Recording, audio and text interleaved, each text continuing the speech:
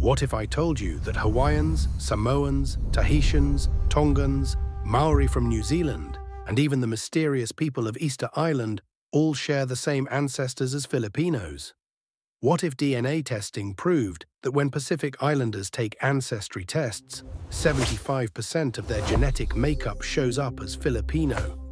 What if the greatest seafaring expansion in human history, spanning from Madagascar to Easter Island, covering nearly two-thirds of Earth's circumference, started with ancient Filipinos leaving the Philippines 5,000 years ago? This isn't mythology. This isn't theory. This is genetic proof published by Stanford University, the National Geographic Genographic Project, and peer-reviewed scientific journals. By the end of this video, you're going to understand that Moana wasn't just a story, it was history and that history began in the Philippines. Stay with me because what I'm about to show you connects Filipinos to every Pacific Island culture from Hawaii to New Zealand. And the DNA evidence is undeniable. What's up, everyone? Before we dive into this incredible genetic discovery, make sure you smash that subscribe button and turn on notifications because we're about to reveal how ancient Filipinos became the ancestors of millions of Pacific Islanders across the world. Let me start with something that shocked genetic researchers. When 23andMe and other DNA testing companies started analyzing Pacific Islander ancestry, they ran into a problem. People from Samoa, Tonga, Guam, and even Hawaii were showing massive percentages of what the genetic algorithms initially labeled as Filipino ancestry. We're not talking about small amounts, we're talking about averages of 75% in Samoa, 71% in Tonga, 68% in Guam, and 18% in Hawaii. Even people from Madagascar, an island off the coast of Africa, literally on the opposite side of the planet, showed 34% Filipino genetic markers. The researchers quickly realized this wasn't a mistake in their algorithm. This was revealing something profound about human history.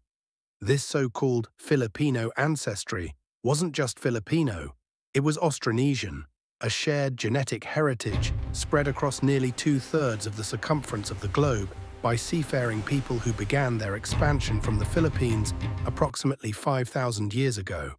Now let me explain what Austronesian means, because this is crucial to understanding the scope of what we're talking about. Austronesian refers to both a language family and a genetic ancestry group. Austronesian languages are spoken by over 400 million people across a massive geographic area stretching from Madagascar in the west to Easter Island in the east, from Taiwan in the north to New Zealand in the south. This language family includes Filipino languages like Tagalog, Cebuano, and Ilocano, along with Hawaiian, Samoan, Tongan, Tahitian, Maori, Malagasy from Madagascar, and hundreds of other languages. And here's what's absolutely mind-blowing. Linguistic analysis shows that all of these languages share a common root. They all evolved from a single ancestor language that was spoken thousands of years ago by people who originated in the region that includes Taiwan, the Philippines, and island Southeast Asia. But we're not just talking about languages, we're talking about DNA.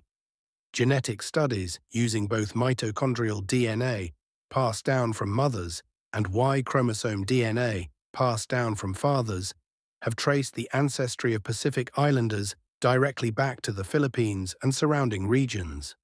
When geneticists built a family tree of Austronesian populations based on DNA analysis, guess what they found? The tree shows expansion routes flowing from Taiwan through the Philippines, then spreading east into the Pacific and west to Madagascar. The Philippines isn't just part of this story. The Philippines is central to this story. It was a major staging area, a genetic mixing zone, and a launching point for some of the most remarkable maritime expeditions in human history. Let me walk you through the timeline of this incredible expansion, because when you see the scope and speed of it, you'll understand why this is considered one of the greatest achievements in human history. Around 5,000 years ago, Austronesian-speaking people, ancestors of modern Filipinos, began leaving the Philippines and island Southeast Asia in massive waves of migration. They traveled in sophisticated ocean-going canoes, carrying with them not just their families, but their entire culture. Plants like taro and breadfruit, animals like pigs and chickens, technologies like pottery and weaving, and most importantly, their knowledge of navigation and seafaring. By approximately 3,500 years ago, these voyagers had reached the Bismarck Archipelago in Melanesia. From there, they continued east, reaching Fiji, Samoa, and Tonga by about 3,000 years ago. Then came a pause. For about 1,500 years, these populations consolidated in Western Polynesia, developing what we now recognize as Polynesian culture, a distinctive branch of the Austronesian family tree. And then, around 1,000 years ago, they exploded outward again in what's called the Polynesian expansion. They reached the Marquesas Islands, the Society Islands, and eventually pushed to the absolute limits of the Pacific. Hawaii in the north, Easter Island in the east, and New Zealand in the south. Think about those distances. From Samoa to Hawaii is over 2,500 miles of open ocean. From Tahiti to Easter Island is over 2,000 miles. From the tropical Pacific to New Zealand means sailing into completely different climate zones. And they did all of this without compasses, without GPS, without metal tools, without any of the navigation technology we consider essential. They used star navigation, reading ocean swells, observing bird flight patterns, and an intimate knowledge of winds and currents passed down through generations. This is some of the most advanced seafaring ever achieved by any culture in human history. Now here's where the genetic evidence gets really specific and really fascinating. Researchers have identified particular genetic markers that track this expansion. The most important is mitochondrial DNA haplogroup B4A1A1, known as the Polynesian motif. This specific genetic signature is found at extremely high frequencies in Polynesian populations. When you trace where it came from, it leads directly back through the Philippines to Taiwan and Southeast Asia. It's a genetic breadcrumb trail showing exactly how these populations moved across the Pacific. But there's more. Y chromosome studies reveal a pattern that's equally clear. Haplogroup O1-M119, which is common in Filipinos, is also found throughout Polynesia, Micronesia, and eastern Indonesia haplogroup O1-2-M50, another marker prevalent in Filipino populations, shows the same pattern of distribution. These aren't coincidences.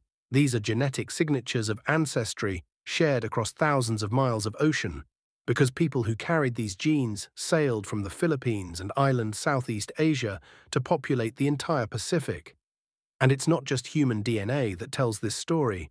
Scientists have traced the genetics of plants and animals that travelled with these ancient mariners, and the evidence is just as compelling. Paper mulberry, a plant used to make bark cloth throughout the Pacific, has been DNA tested. Researchers analysed 604 samples from across China, Southeast Asia, and the Pacific Islands.